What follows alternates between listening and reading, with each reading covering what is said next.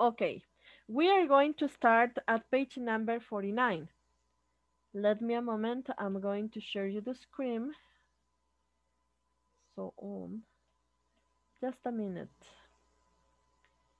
Okay, here I have, yes, that's it. Okay, now I'm going to show you the screen. Here I have the book in the page number 49, okay? Uh, I'm sorry, this is 48. This is 49.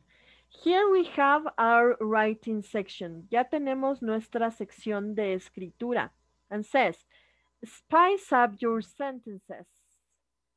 Uh, have you ever an idea, have you had an idea about what spice up means? ¿Qué significa spice up?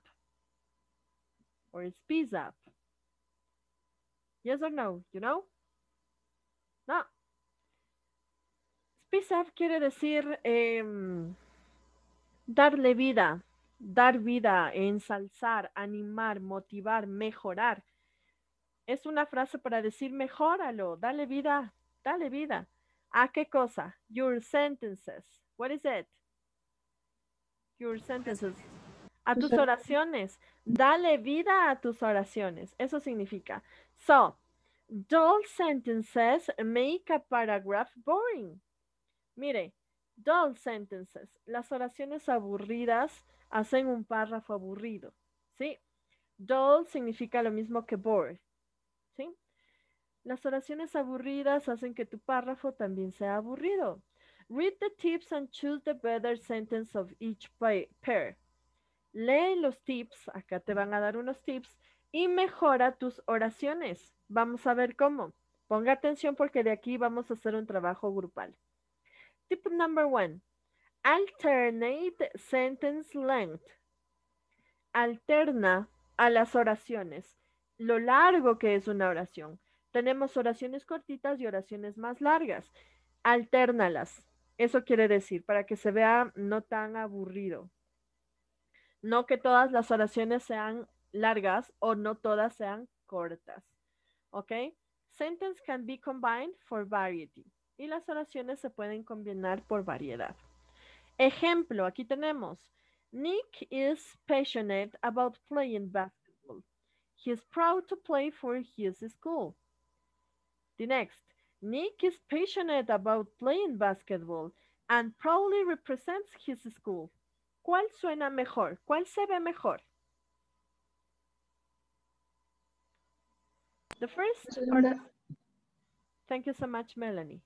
The second one is better. ¿Por qué? Hemos combinado. No estoy leyendo dos oraciones, sino una sola y que tiene más sentido. ¿Sí? Y que está más completa. Go to the number two. Tip number two. Various sentence openings. La introducción de la oración. Dice, try not to repeat words. Nunca trate de repetir eh, palabras. Por ejemplo, miren en el libro. Dull sentence make a paragraph boring. La palabra dull es lo mismo que boring, pero ha usado un sinónimo para, no decir esto. Bored sentences make a paragraph boring. ¿Si vieron? Se usan sinónimos para decir lo mismo y ustedes tienen por ahí un vocabulario extenso. Entonces, trate de no repetir palabras, especially de. ustedes tienen a la palabra de bastante en su vocabulario. The house, the kid, the sentence, de, de, de, de, de, por todo lado. Trate de no repetir mucho el de, el it o el this. Cualquiera de estas tres palabras trate de evitarlas y usarlas menos.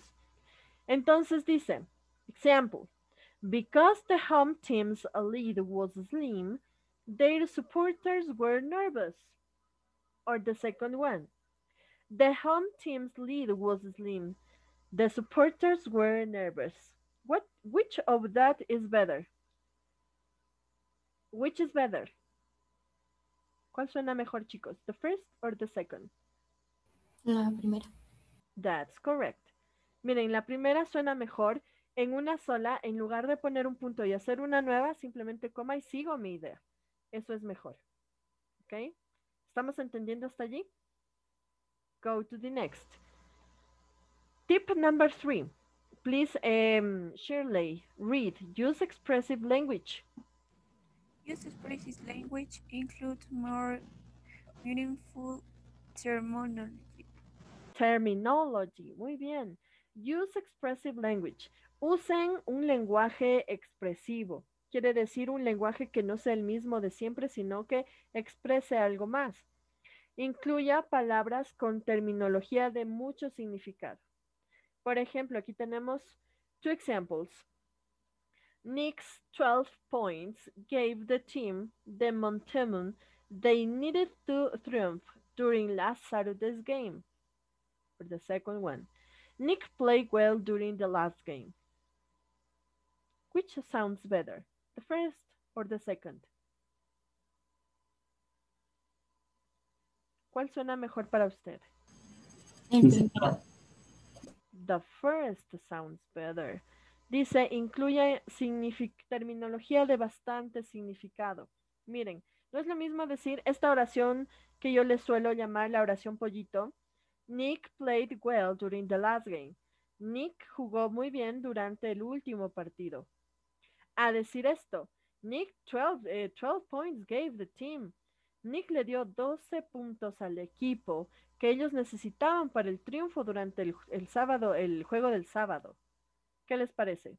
Se dio un poquito más de información y, y hizo que esta oración aburrida de Nick jugó bien suene mejor a Nick le dio 12 puntos al equipo, justo los que necesitaban para el triunfo. Sí, suena mejor, suena más emocionante en tal caso. Tip number four, avoid repetition evitamos la repetición. Por esto, use synonyms or adjust the sentence structure. Usamos sinónimos como, como acá pudimos ver, este es ejemplo claro. Dull, bor, dull, bor. Las dos significan lo mismo, pero para no poner bor, bor, se cambia esta palabrita, es un sinónimo. O ajustamos la, la estructura de la oración. Decir lo mismo de manera diferente quiere decir, vamos a ver. ¿Cuál suena mejor? There were many spectators in the stands at the game. It was the final game of the season. Or, as it was the final game of the season, the stands were packed full of spectators. What sounds better, number one or number two? El segundo. That's correct. La segunda suena mejor, ¿sí?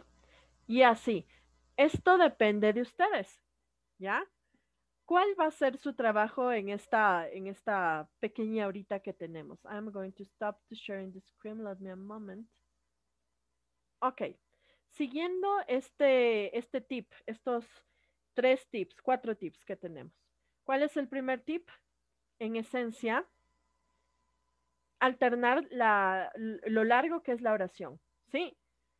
¿Estamos? hacer que en lugar de que haya dos oraciones cortitas separadas por punto, es mejor unir las dos y que se haga un poquito más larga. Sí, ese sería el primer tip. El segundo tip, una variedad de, de introducción a la oración. Trate de no decir de, o sea, trate de no iniciar una oración con de, con this o con it. ¿Sí? sí en lo posible.